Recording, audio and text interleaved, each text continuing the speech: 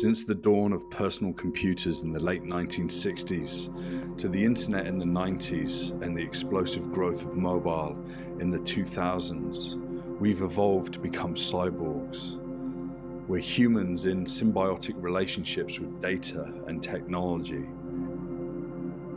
And we're now exploring how we wear that technology to help us to be more productive and connect more deeply with people. Beyond that, we're exploring the dimensions of data that surrounds us, and we're mapping our world to share our context and create immersion in places that we'll share and that you'll likely never visit. This is a new contextualized world where we gamify our environments and seek value in a mixed reality with humans and data merged into a brand new horizon.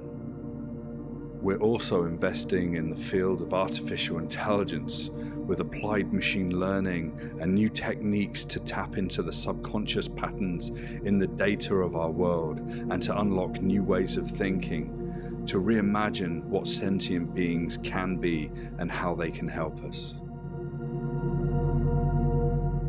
We're also innovating building machines at the scale of atoms and molecules to fight our cancers from the inside out using nanotechnologies, and the investment in these areas is helping us step forward into new worlds like quantum computing, where we harness quantum phenomena such as superposition and entanglement to process data faster, break new ground in medicine, chemistry, cryptography, and redefine what we mean totally by computing itself.